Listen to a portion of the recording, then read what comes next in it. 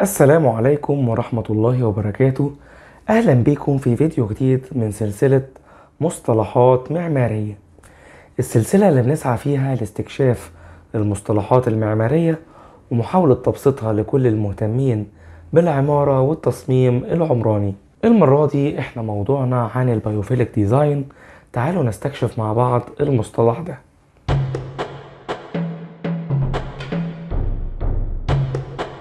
لو حللنا كلمة biophilia لجزئين هنلاقي إنها بتنقسم لكلمة philia وكلمة bio كلمة bio بمعنى متعلق بالحياة والكائنات الحية وكلمة philia بمعنى الحب أو التعلق بشيء والكلمتين دول أصلهم إغريقي.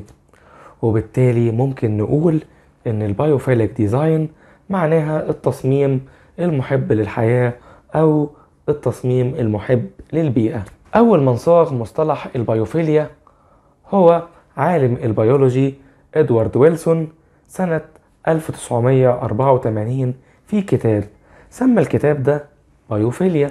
وقال عن ال biophilia إنها الميل الفطري تجاه الأشياء المفعمة بالحياة. في سنة 1993 نفس العالم. بالاشتراك بقى مع العالم والمعماري ستيفن كيلرت عملوا كتاب جديد وسموه The Biophilia Hypothesis بمعنى فرضية ال biophilia. وهنا بقى اتكلموا عن فكرة ال Biophilic Design وازاي إن ممكن جدا الفكرة دي تخلي التصميم مش بس يركز على النواحي الوظيفية لا كمان يهتم بالجوانب الجمالية وتحسين جودة الحياة للإنسان.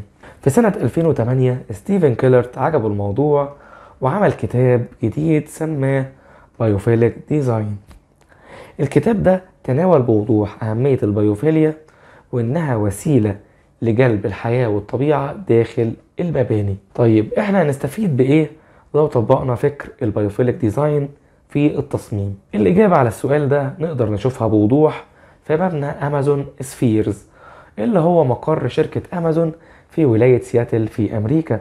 واللي اتنفذ سنة 2018 من تصميم مكتب اسمه NBBJ المشروع ده متكون من ثلاث أوب زجاجية عملاقة بتحتوي جواها وظائف المشروع أو وظائف المبنى. القشرة الكبيرة دي تم وضع داخلها أكتر من 40 ألف نبات من حوالي 400 فصيلة. وبكده أصبح موظفي أمازون كأنهم بيشتغلوا في عالم مصغر من الطبيعة كأنك بتشتغل داخل غابة حقيقية.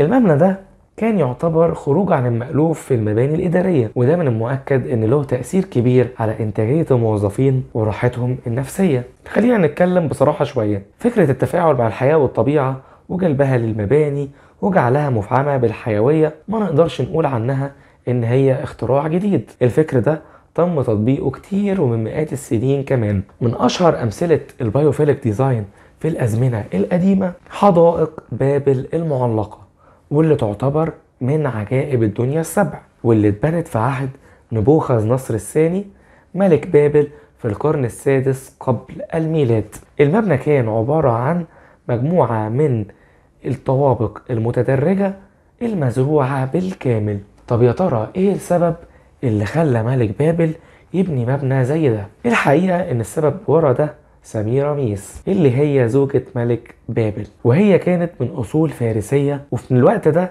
كانت بتشتكي لزوجها من الحنين للوطن وأشجاره والطبيعة الخلابة اللي موجودة هناك. فقرر الملك بناء المنشأ ده كهدية بسيطة يصالح بيها زوجته الغاضبة. الحقيقة إن في مصطلحات كتير ليها معاني قريبة من ال Biophilic Design. وممكن تؤدي لنتائج مشابهة تصميميا.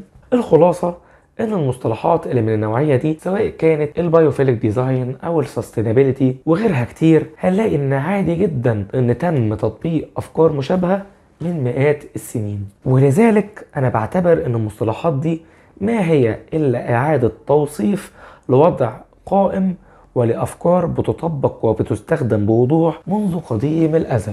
لكن في جانب إيجابي في الموضوع إن النوعية دي من المصطلحات والاعتماد عليها بينفض الغبار عن أفكار مهمة إحنا محتاجينها في وقتنا الحالي في التصميم وبتشجع المعماريين على إعادة صياغة علاقة الإنسان ببيئته ومجتمعه. في نهاية الفيديو أتمنى يكون قد نال إعجابكم وشاركونا بآرائكم تحت في التعليقات وقولوا لنا إيه المصطلحات اللي حابين نناقشها في الحلقات الجاية إن شاء الله. وقولوا لنا كمان إيه أكتر المباني القائمة في مصر والدول العربية اللي شايفين فيها فيها تطبيق واضح لفكرة البيوفيلك ديزاين. شكرا جزيلا وأراكم على خير في الفيديو الجاي إن شاء الله. شكرا جزيلا.